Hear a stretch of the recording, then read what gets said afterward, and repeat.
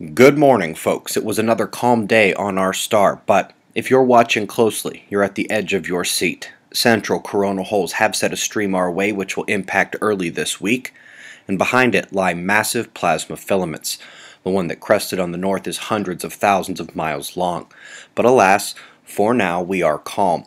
No solar flares, and the sunspots really aren't set to change that. None of these little guys has any potential or magnetic mixing today relatively calm solar wind, especially the speed in yellow.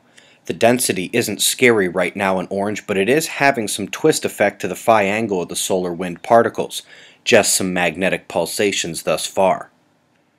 Here's that coronal hole we just discussed. Its speedy stream could last up to three or four days once it arrives, and since she's continued the quake uptick a bit, let's check out her power over at ISWA moderate force, enough for what we're seeing, but not too much. You might have noted and been curious why it seems the southern coronal holes are way more powerful than the north, which often look puny by comparison. Well, here's why. Here at the solar polar field strength, we see the north column way, way weaker in terms of absolute magnitude magnetism.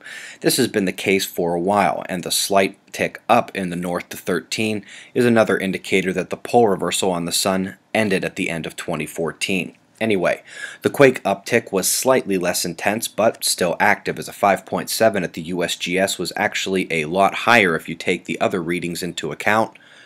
We also had instances of downgrade at the southern Atlantic and a second one in the West Pacific. Both hit 6 more than once. Top link today is to the most detailed ocean floor map ever. Train your eyes to look for land first. That's clearly Australia and the southwest Pacific. Shifting over, we'll find India. To the west of that, we begin to see Africa. North of that is Europe. Mid Atlantic Ridge comes next, and the Americas then the Pacific, and back to Australia. You can also zoom way, way in and see just how detailed this thing gets. I think I'll end up spending a lot of time looking at fault zones. You can also toggle between a couple different views, which will add yet another level to the uber zoom analyses. The 2D and Columbus style maps could be intriguing for you as well, especially the Columbus one, like you're flying overhead in a jet looking out the cockpit. We also have an amazing article on how radiation can enhance superconductivity via a process that involves quantized vortices. Well, I'd love to hear Wal Thornhill's take on that one. Enhanced ability to carry high current without energy loss. We are also seeing the summer U.S. temperature predictions from the Weather Channel. That looks fun, eh? No swelter would be nice and would mean fewer tornadoes. And finally, Gary Busey's dad invented a way to treat radiation kidding on the doppelganger, but seriously, we now have a way to protect red blood cells from EMR overdose. Let's come now to the weather because the south central U.S. is getting slammed. The flooding and record rains seem like they're never going to come to an end. Haven't seen that concentration of black since the 2011 disaster. Interesting lack of water flow in New England developing as well.